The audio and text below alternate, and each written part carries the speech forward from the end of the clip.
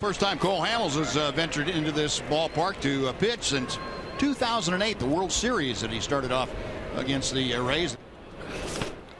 And that's the bane of existence of a lot of hitters. Tim Beckham no exception right now.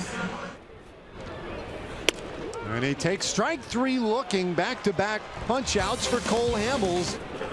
It's Bobby Wilson leading it off for the Rays and he strikes out swinging to start things in the bottom of the third. Payoff to Brad Miller. And gets him swinging. 2-2. And tied him up. Another strikeout. Fifth of the night for Cole Hamels.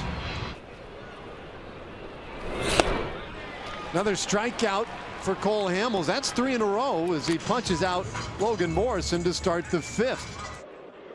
Here's the 2 2. Strike call on the outside quarter. Five innings complete. Rays, no runs, no hits. The bouncer through the right side into center field. First base hit of the night for the Rays. Breaking ball, called strike three. Bouncer third base. Beltre will go to second one. Odor's turn in time. Double play. Breaking ball to Beckham, and that is strike three called. Fourth strikeout looking tonight is 0-2 to Wilson. Went indeed. Plate umpire Whitson rings him up. Cole Hamels done. 10 strikeouts tonight.